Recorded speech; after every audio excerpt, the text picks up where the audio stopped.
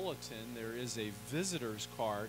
And we would ask you to fill that out. We'd just like to know a little bit more about each one of you and um, to be able to get to know you a little bit better. And then on the back side of that visitor's card is a communication card. And, and, and that's how we keep up with our prayer requests and, and different things like that. If you'd like a visit from the preacher, uh, there's a place there about uh, to, to mention that or any kind of special message. So take a moment if you have any special needs and, and fill that out. Um, also, uh, we have coming up this week a missionary committee meeting on Thursday. That's going to be at 10 o'clock, but it's not just for the missionary committee members. We'd like to invite any of you who would like to be there to come for that because we're going to have a representative from Lifeline Christian uh, Missions there to explain their program to us. Lifeline Christian Missions is uh, located over around Columbus and uh, they uh, do special missionary projects all over the world. And some of you may remember a few years ago that we did the peanut butter program here, Peanut Butter Drive, for Haiti. We had kids bring in jars of peanut butter and you taped a, a quarter to the top of it to pay for the shipping. And they do those kinds of things and, and other things as well, but it's an active missionary program, and, and we'd like to get our church members involved in that. So we encourage you to be here if you're able uh, for that. Our uh, leadership committee meeting, or leadership meeting, is going to be next. Uh, is that Wednesday or Thursday? Mon- oh, Monday. Okay, a week from Monday, August 22nd at 7 o'clock here at the church. You're invited to be here for that. Um, the uh, we want to remind you that there'll be no Bible study this Wednesday night because we're getting ready for a fall kickoff which is going to be coming on September 7th, and we're going to be opening that up with a soup and sandwich supper starting at 6 o'clock, and then there'll be Bible studies for both the youth um, and adults at 7 o'clock. And uh, Brent might mention a little bit more to you how that's going to work uh, later on. Um, Jake is planning a trip on September 16th uh, to the Living Word Outdoor Drama in Cambridge you've not been there, it's an outdoor drama uh, uh, portraying the life of Christ.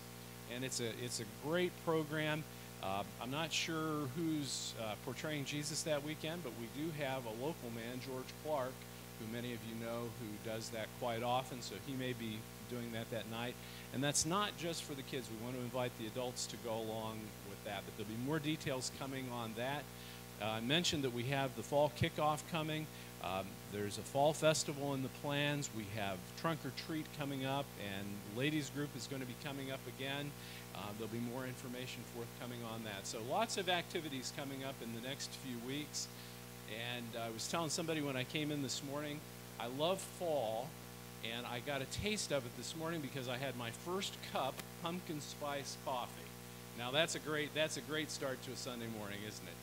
But uh, anyway, uh, so just keep all of those things in mind, and uh, we hope to uh, see all of you here for all of those activities.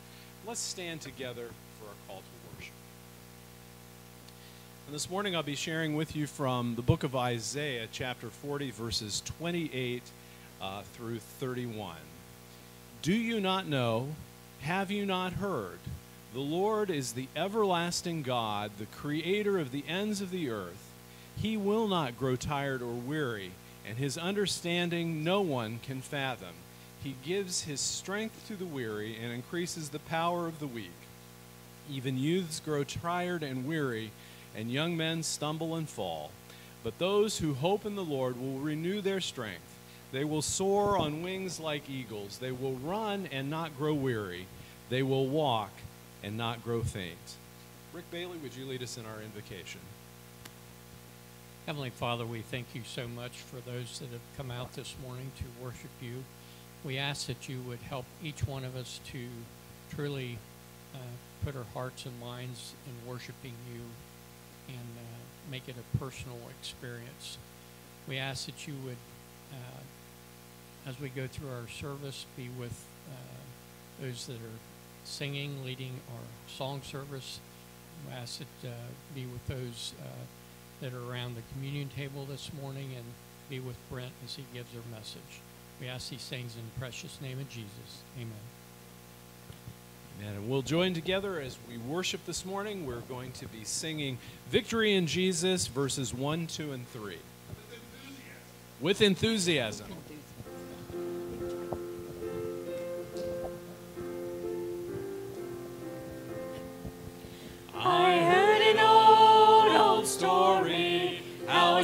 came from glory, how he gave his life on Calvary to save a wretch like me. I heard about his groaning, of his precious blood atoning. Then I repented of my sins and won the victory. Oh, victory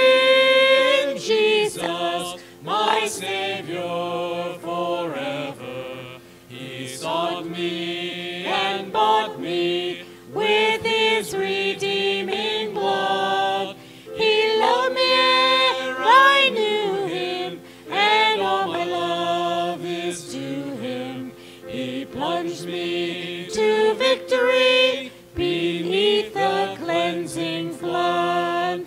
I heard about his healing, of his cleansing power revealing, how he made the lame to walk again,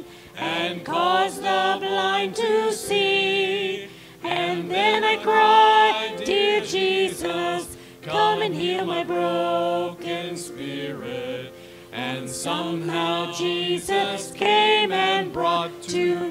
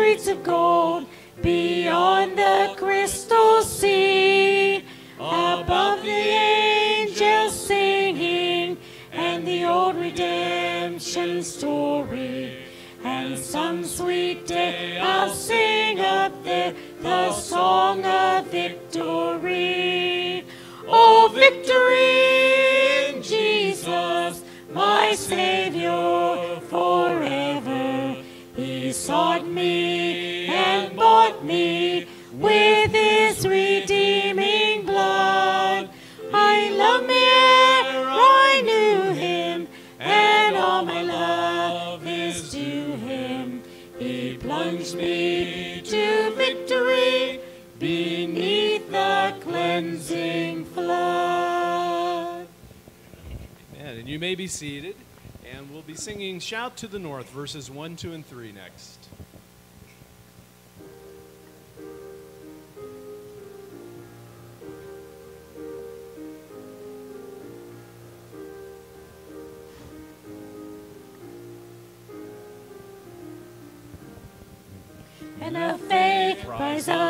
And sing of the great and glorious King.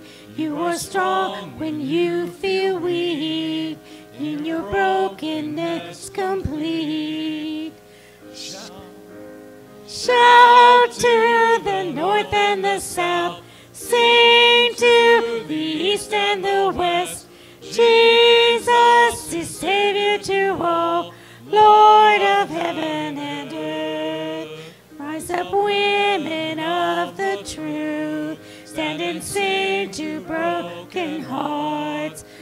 know the healing power of our awesome King of love. Shout to the north and the south, sing to the east and the west. Jesus is Savior to all, Lord of heaven and earth. With hook wings, fill this place with songs again of our God who reigns on high. By his grace again we'll fly. Shout to the north and the south, sing to the east and the west. Jesus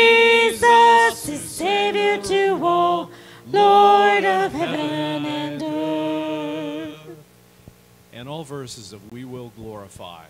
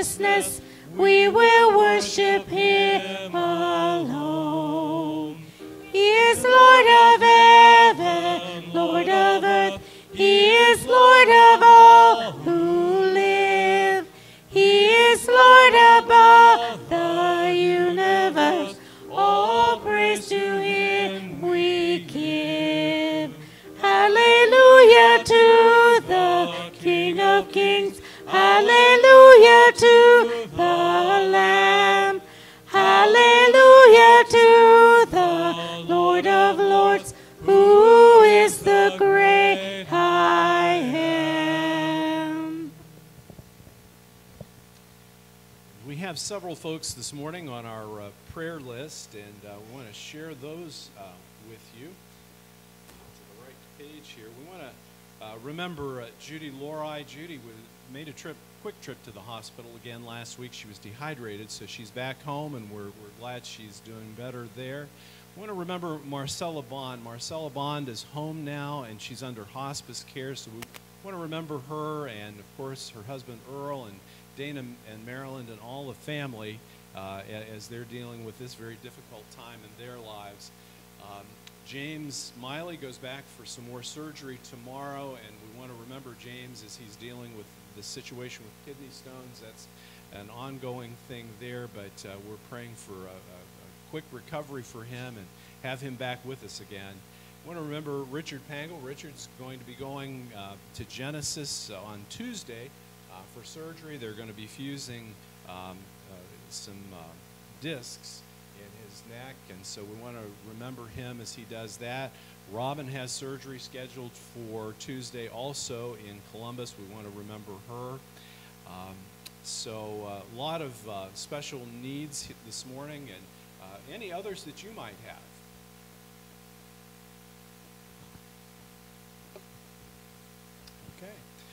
Very good. Well, we will join together in our prayer song, um, and it's More Love to Thee. We're going to be singing all verses, and I ask you to stand with us on the last verse.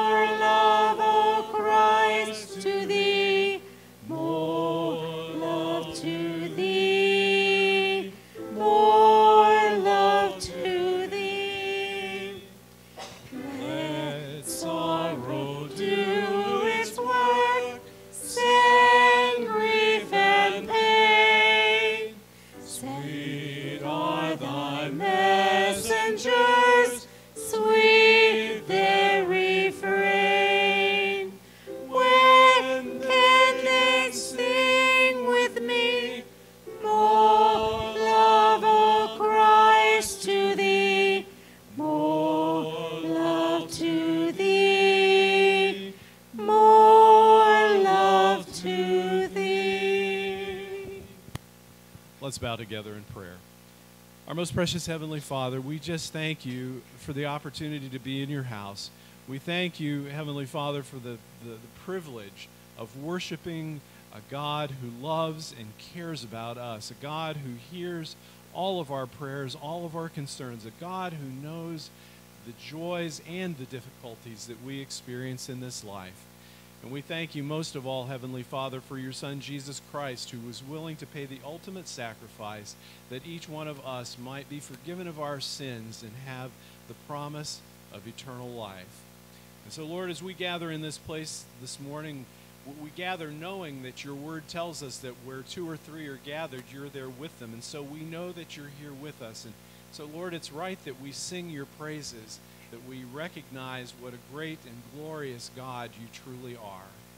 And so, Lord, as we come here this morning, we lift these ones up who have been mentioned on our prayer list this morning. We ask you to continue to be with Judy Lorai and her family. We pray for Marcella Bond as, uh, as she's facing these very difficult times. We pray that you would strengthen her and help her to just feel your presence right there in that bed with her so that she knows that you're there with your loving arms wrapped around her.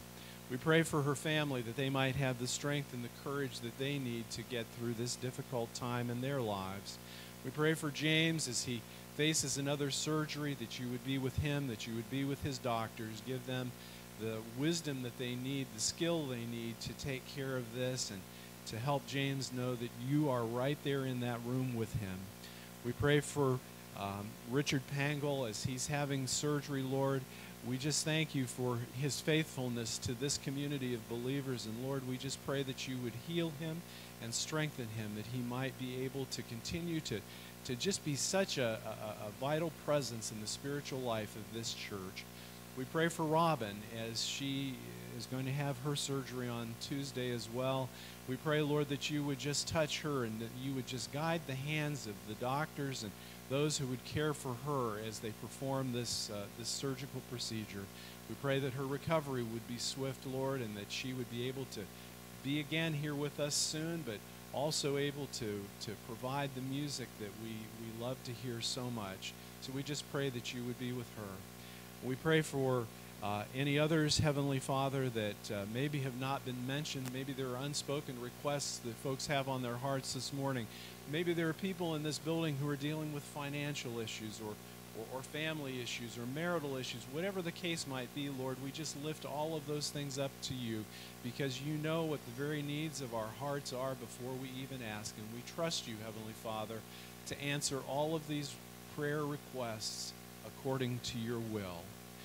Lord, we pray as we come together that you would just be with our country. It's a time of difficulty and turmoil.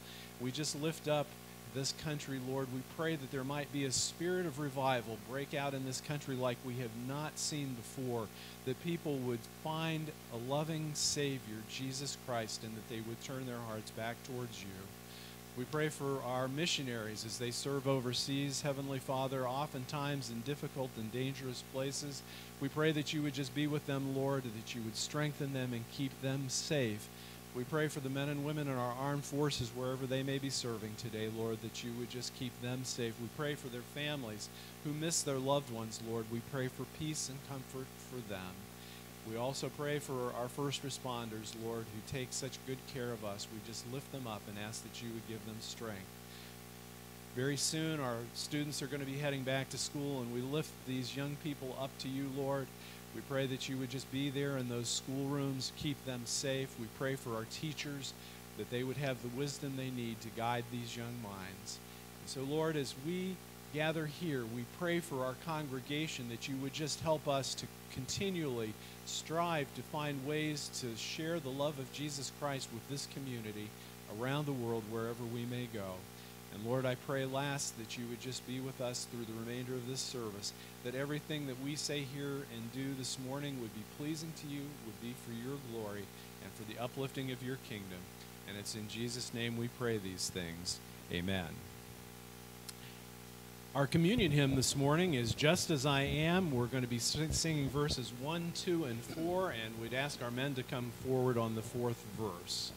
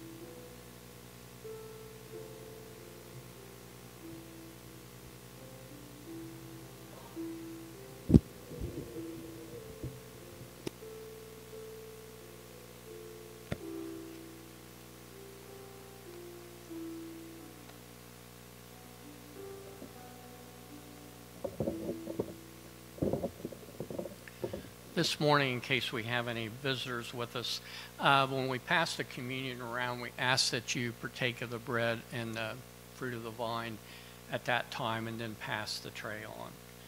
This morning, I will be reading from Ezra chapter 8. Now, Ezra is a small book in the Bible, 10 chapters. Uh, you don't hear uh, Ezra preach very much, but Ezra is a very interesting uh, person. Um, to give you a little background information for this passage I'm going to read, uh, you remember the uh, Babylonians uh, captured um, the uh, people of Judah, sent them to Babylon. Uh, this was when Daniel and Shadrach, Meshach, and Abednego were taken to um, Babylon and um, the Babylonians were later defeated by the uh, Persian Empire, the Medes and Persians. And under King Cyrus, uh, Zerubbabel was sent back to uh, Jerusalem to rebuild the temple. Now, Ezra uh, plays a part in this uh, some 60 to 70 years after uh, Zerubbabel went to um, Jerusalem with the first group of exiles. Uh, I read where it was probably 50 some thousand people who had stayed loyal to God after the 70 years of captivity. Uh, but Ezra was sent by King Artaxerxes of Persia to go back to instruct uh, the people how to properly worship. Ezra was a scribe, which meant he copied all of uh, the uh, books of the Bible by hand. He was a priest, and most importantly, probably, he was a great leader. Um, also, to give you a little bit of information, um, about 13 years after um, Ezra went to Jerusalem, uh, God laid it on Nehemiah's heart to go back and rebuild the walls of Jerusalem.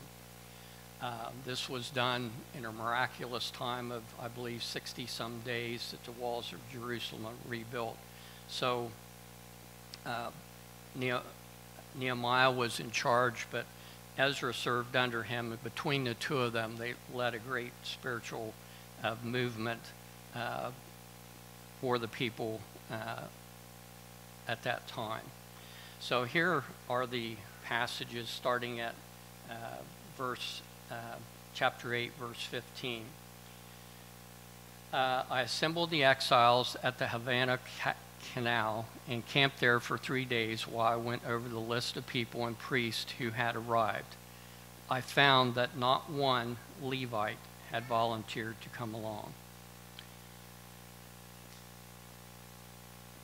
Since the gracious hand of our God was on us, they sent us a man named Sherebiah, along with 18 of his sons and brothers.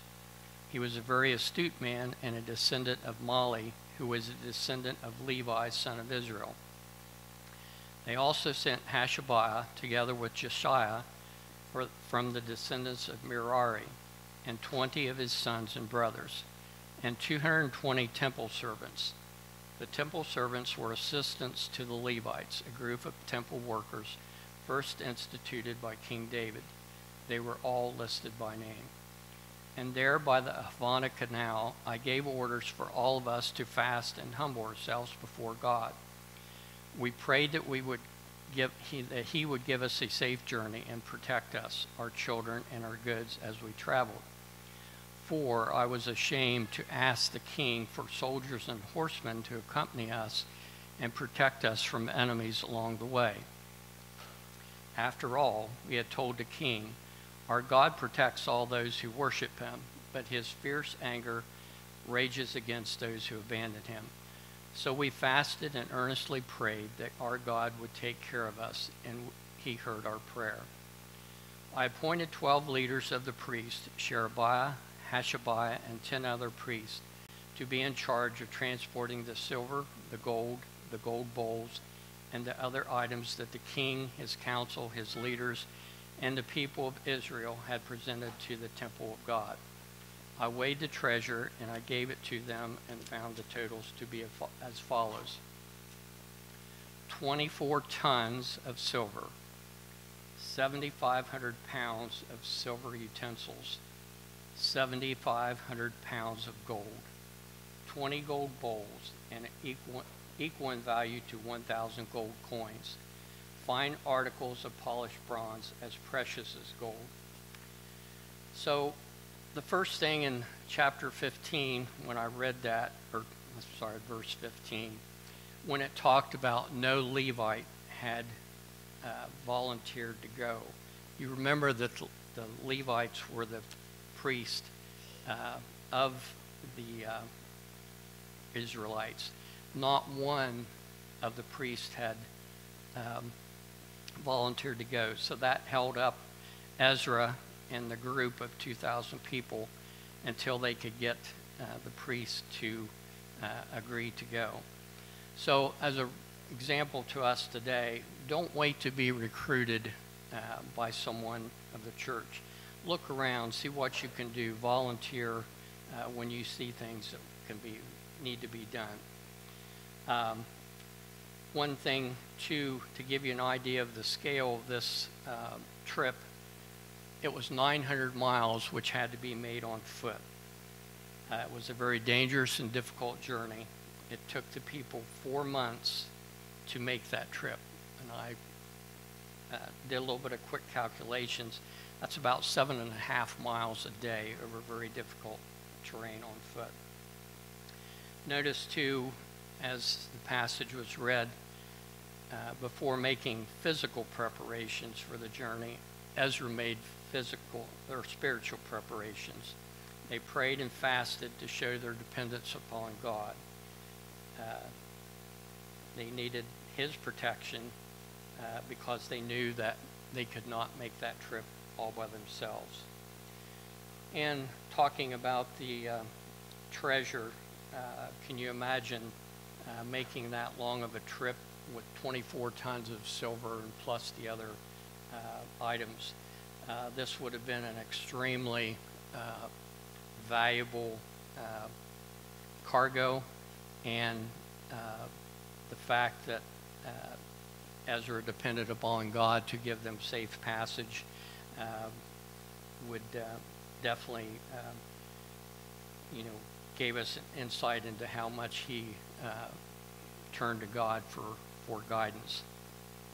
So some people may ask, well, why does this passage from Ezra have anything to do with around the communion table? Ezra was a very devout man. Uh, we need to be uh, equally as devout as we come around the table this morning, uh, knowing that we too need to depend upon God for everything that we do. With these thoughts in mind, let us pray.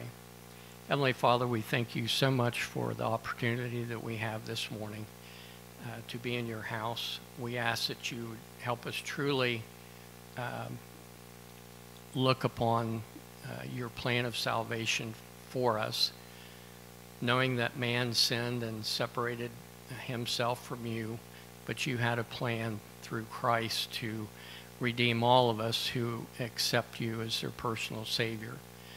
We know that uh, Ezra looked upon the Scripture to guide him, and we ask that we look at the Scripture to guide us during these difficult times in history, and we ask that you would help us to remember that we have the responsibility to tell others about Christ. We ask these things in the name of Jesus. Amen.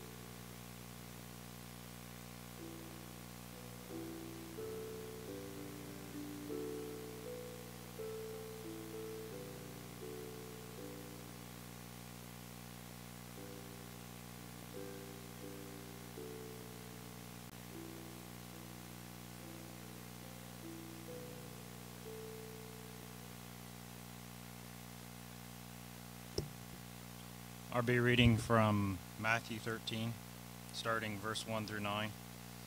That same day, Jesus went out of the house and sat by the lake. Such large crowds gathered around him that he got into a boat and sat in it, while the people stood on the shore. Then he told many of them things in parables, saying, A farmer went out to sow his seed.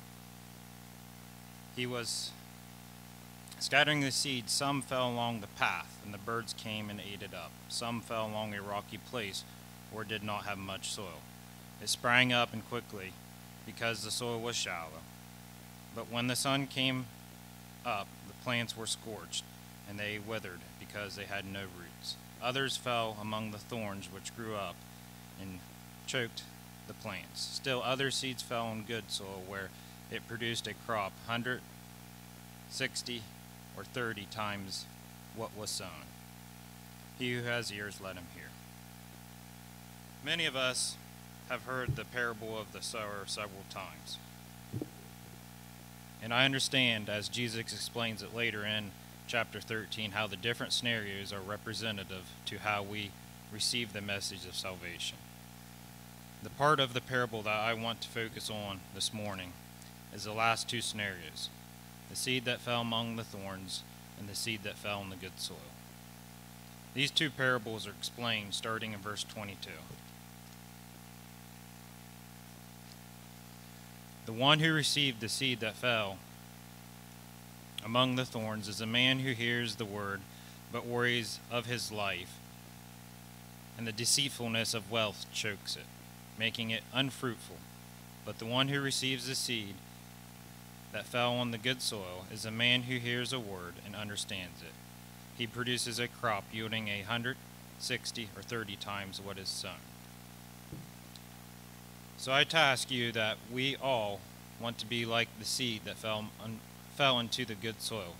Just like a farmer who cares for their crops by spending his time, energy, and money to ensure they yield a large harvest, we too should invest in our spiritual future and not let the thorns of life choke us out.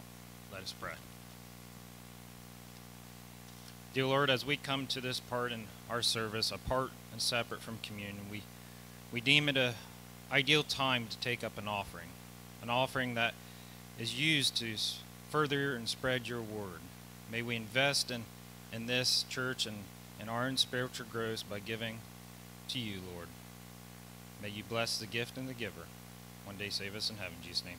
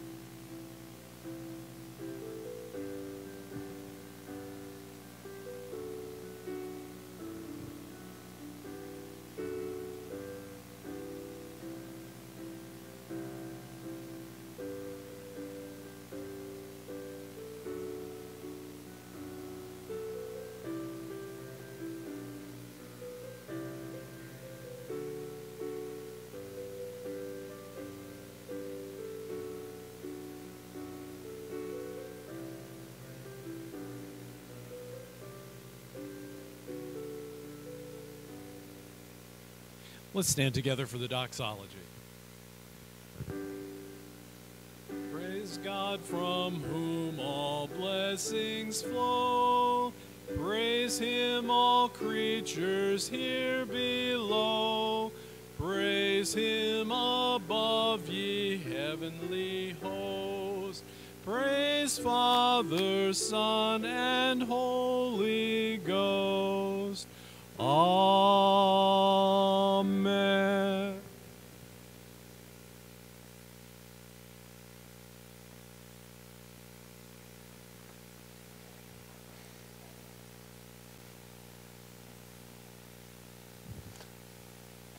Just doesn't seem right if that's not there. we have a young lady in our congregation. Uh, she is homeschooled, which is kind of a unique thing. But in the years of teaching college, I have to tell you the best student I ever had was a homeschooled girl. She was just amazing.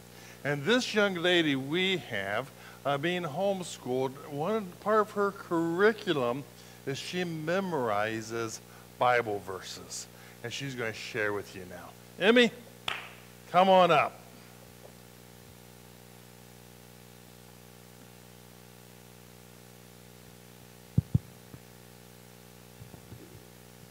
But I rejoin the Lord greatly that now Wait, at wait, last. wait, wait. Wait to the end of it. But I rejoice in the Lord greatly that now at last they care for me as first again. Do you certainly dig me gone and to be content. I know how to be abased. I know how to abound. Everyone and to be hungry, but to abound and to suffer need. I can do all things in Christ who strengthens me. Amen. Praise the Lord. Amen. Thank you, darling. Who's going to do that next week? Young people, you may go. Junior church, you may go.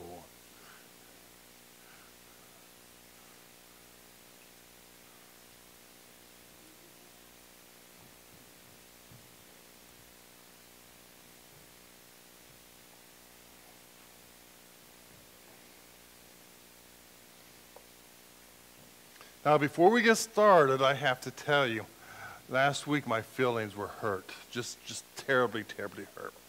We had this wonderful, wonderful picnic at Caldwell Lake. It rained a little, did not hurt anything. Kids had a great time. They played and they ran. There was cornhole. Stay away from Sean Miller when it comes to cornhole. He's got his own things. He's going, no, stay away from Sean. It was a wonderful time. And there was all this food, all this food. It was just, it was great. It was great. It was great. But after two years of knowing me, there was one, one pecan pie. There were no cream pies. There were no fruit pies. There was one pecan pie. That's all. I really thought it meant more to you than that. Just, just have to say. What? Somebody ate them before I saw them. I didn't see that. I saw brownies from Danny. Well, they didn't save a piece for me. Anyway, it was a great picnic. And thanks to everybody that came and participated. We had some folks that, that just couldn't be there, but we filled that shelter up. It really, really was a great time. And uh, I'm so glad we did it. Looking forward to next year. And uh, just, just thanks for everybody that, that had part in that. Just it was, it was really, really good. Now, for this morning, uh, we're going to talk about weight. Acts 1, verses 1 through 5. So, so uh, go ahead, Paul. Now, I have to tell you, patience is a virtue. It's not mine. This morning, service started. We started at 10:01, not 10, 10:01, but not, not I'm counting. And that guy up here, the guy with the suit jacket, he went on and on saying, "Welcome, welcome, welcome, welcome." Then we sang one, two, three praise songs. Two years ago during COVID, we were singing one. Now, one, two, three. Then, then we had four verses to the prayer song. This stuff goes on forever and forever and forever. And we didn't used to have any meditations, and now we have this communion meditation about Ezra. It's great, it's wonderful, it's great meaning. But, and then, then Scott gets up and he does a, a great offering meditation about the parable of the sowers. I'm going, yeah, that's, that's great, but it's my turn. It's my turn. Hurry up, hurry up, hurry up. Patience is a virtue, but it's not mine. Chances are it's not yours either.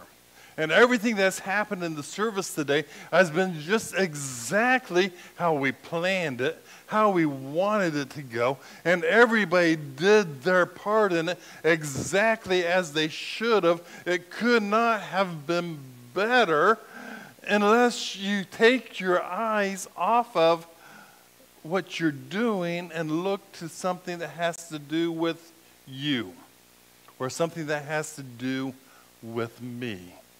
Sermons, lots of times, are about other things, but sometimes it's about me because I, in a hurry, I want to go. So let's talk about waiting today.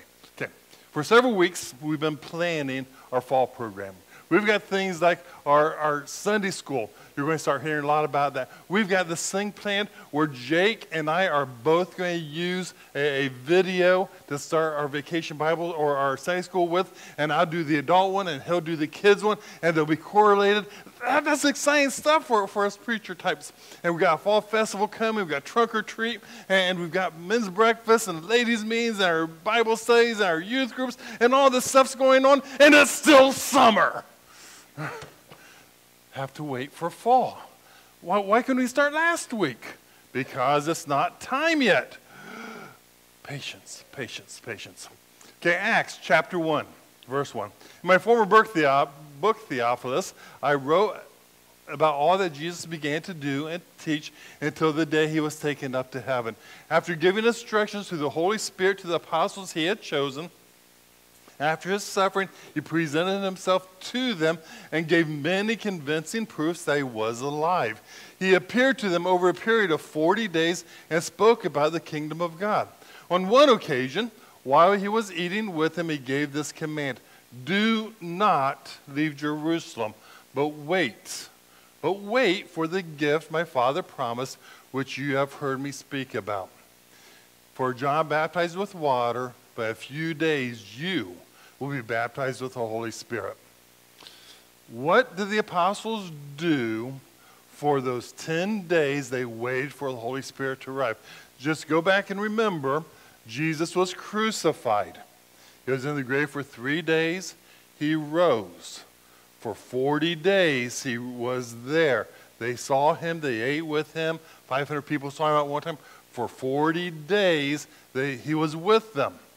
On the 40th day, they went to the mountaintop. He said, Go ye therefore to the, all nations, teaching them, baptizing them, gave them the Great Commission, and poof, he takes off, disappears.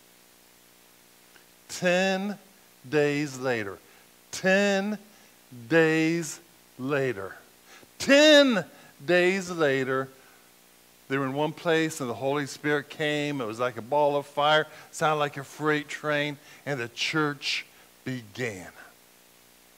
What did they do for those 10 days? Scripture doesn't say. But I imagine they were saying, What now? Let's go. Let's do something. What, what should we do? And there was nothing to do for 10 days. It was God's way of saying, Wait just a minute. This sermon process is, is kind of complicated. Um, but this idea of them waiting for this 10 days brought to my mind, but they that wait upon the Lord shall renew their strength. They shall mount up with wings as eagles. They shall run, not be weary. They shall walk and not faint. Those who wait upon the Lord. Well, that passage, if we look at the full thing and the NIV says, Do you not know? Have you not heard? The Lord is the everlasting God, the creator of the ends of the earth. He will not grow tired or weary. His understanding no one can fathom. He gives strength to the weary and increases the power of the weak. Even youths grow tired and weary, and young men stumble and fall. But those who hope in the Lord will renew their strength. King James says, those who wait in the Lord will renew their strength. They will soar on wings like eagles. They will run and not grow weary. They will walk and not be faint. At the very beginning of that passage, Isaiah says, Have you not heard? Of course they were they heard about God. Of course they understood he was God. He created everything. They had heard, but they forgot. Sometimes we forget too. Okay. Um, in our daily struggle with life, all the things we do, we forget who's really in charge. We forget whose program it is. We think it's our program. It's not, it's his program, and we have to work with it. Isaiah reminds us of the benefits of putting our hope in God, of taking what belongs to us and giving it to Him and letting Him do it. You all remember Carrie Underwood's song, Jesus Take the Wheel. She's driving down the road, it's icy, and the car starts to spin. And then she says, Jesus, take the wheel because I'm out of control. Well, we need to do that sooner rather than later, and we need to wait for Him. That the Lord is the everlasting God from the Creator to the end, puts our role in the universe into perspective. Job said, Who is a man that you would even take note of him? Our, we are not the center of the universe. There is nothing that he, being God, has not seen, heard or experienced that we are going through now. I don't care what's happening in life. I don't care how terrible life is at the moment. Someone else has been through it, and God has been through it with them. And sometimes we have to step back and say, God, I don't know why you're doing this. I don't know why it's like this. I don't understand, but I know you've been here before. Hold my hand and let's go. He is the creator. He started it all. It all works according to his plan. He is not subject to human frailties. He does not grow tired. He does not second guess himself. He does not wonder about this and that. He is God. He is the creator. His understanding of everything is beyond our comprehension. We don't understand it, but trust me, He does. He shares with us his strength. He shares with us his strength. We don't have to be that strong because he is. Even the young grow tired and weary, but not God. Yeah, no, we were out of the Grand Canyon, and uh, there's about one person that dies every day in the Grand Canyon.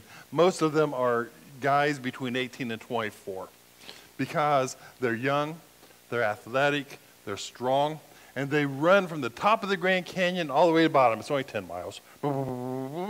They get to the bottom and they take a sip of water and they run back up. About a third of the way up, the exhaustion, the heat exhaustion gets them, and they keel over and they die. Even though they're young, even though they're in shape, they're not equipped for that. But God is. Those who hope, those who wait, will have their strength renewed. We're not necessarily talking about physical strength. We're talking about the strength of our mind and our soul, our spirit to continue on. You can get tired, but when your, your mind and your soul gets weir, weary and tired, you don't know if you can go on. It's not because you can't get up, but you don't know if you want to get up. But God is strong enough to do that for us. When we talk about strength, it can have several meanings. It can be physical, it can be mental, and strength can be by faith. All of these count. When we are down, when we are down, we need help in all three. We need physical strength, we need mental strength, and our faith needs a boost. To soar on wings like eagles has three pictures for us to consider. Uh, we're behind a little, so I really am hurrying. So, three things to consider. One, eagles with a great wingspan can soar to great heights. You can't get there without a plane. They can soar to great heights. And when it says they soar on wings like eagles, the picture is that magnificent bird soaring higher than we could ever imagine. That's one picture for this passage. Number two, Eagles in, typo there, in their old age molt. Yes, that's spelled correctly. That's how it was in the commentary. They molt. They lose all their feathers. They grow new ones. Then they are able to fly high again. They are renewed. The old goes away and the new grows in. They are renewed. That's the picture of eagles soaring on wings because they've been renewed with feathers. But here's the picture I like. There's a story, and I can't verify it. I've heard it in sermon after sermon. But eagles, when they are teaching their young to fly, they will carry their, their offspring, their, their eaglet, uh, they will put them on their back, and they will soar up to a great height because they can do that. And they get up there a mile or two, and they dump them. And this poor little baby bird falls. And one or two things will happen. On that way down, the eaglet says, Oh, wait a minute, I can do this. And it flies, and soon it will soar. But for those of those who ride the short bus, these eaglets, and they're, they're going down, down, down, down, and they don't get it, you know what happens? The adult eagle comes in, swoops in under them, catches them on their back,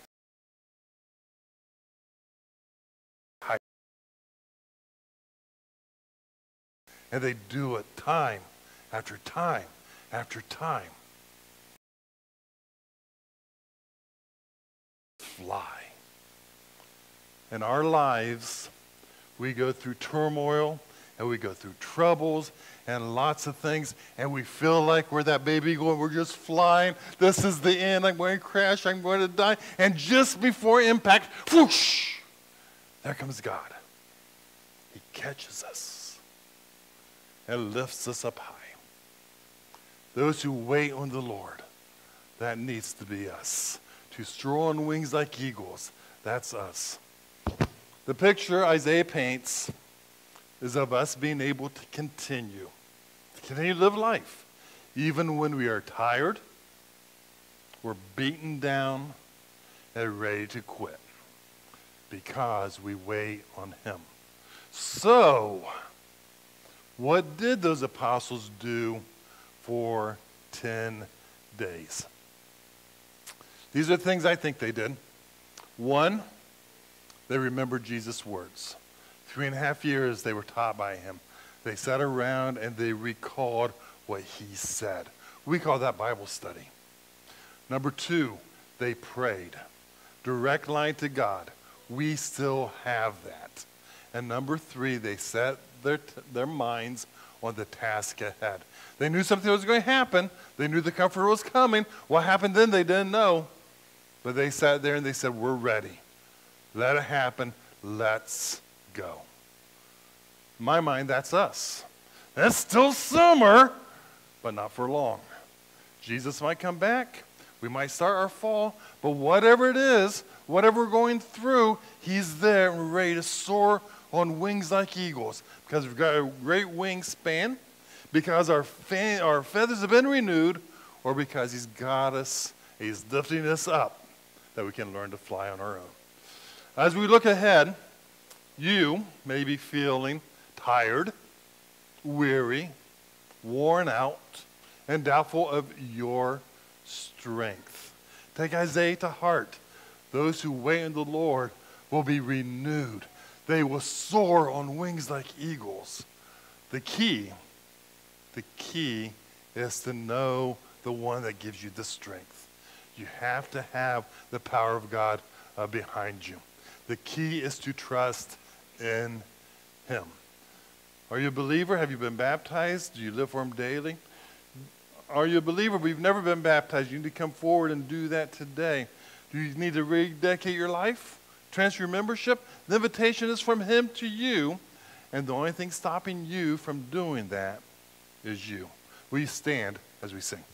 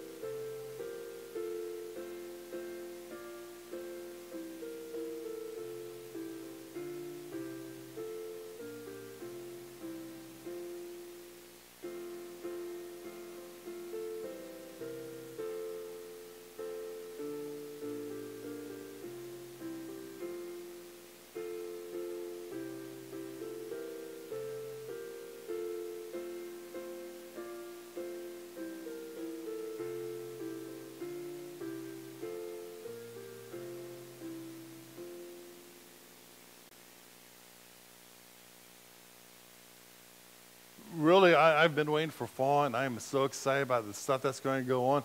I just think God's going to do some really, really great things, and you need to be a part of it. To be a part of it, you need to be here. So, I know, don't get distracted. Focus, because He can take the church and use more specifically to great heights, to soar on wings like eagles. I'm jealous of eagles. I, am jealous. I am. So um, keep in mind, James has Kenny stuff tomorrow. Robin gets a thing in her brain. Um, she has an aneurysm, so, so they're going to put like a, a stent in there. So, so that, and uh, Richard's getting vertebrae fused. Oh, it's going to be a big day. I'm tired already. So, oh, come on, come on. Who, who has benediction? You know who has benediction? All right, Sean, would you have our benediction, please?